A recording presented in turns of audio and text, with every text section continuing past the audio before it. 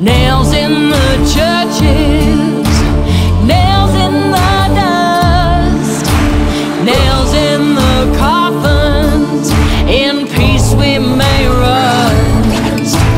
One by one, oh, one by one. Hey, boy. Burning down the barrel of my gun. Burning down the barrel my gun. I don't know how it started, but they're everywhere now.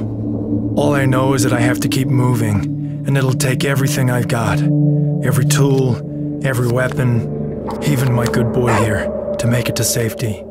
Because even the dead don't sleep out here, they're always coming. You can't make it in this world without survival skills, and I got plenty of those.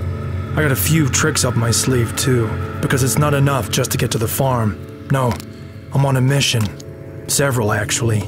And I can't show up there empty handed. Equipment is cheap, but life isn't. It's easy enough to get what I need, so I'd better use it.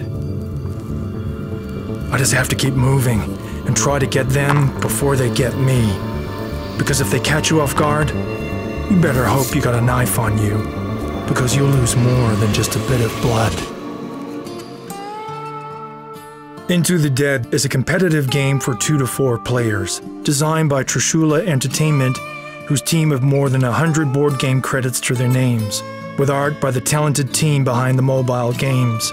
Into the Dead, the board game, has been crafted as an accessible game of risk and strategy.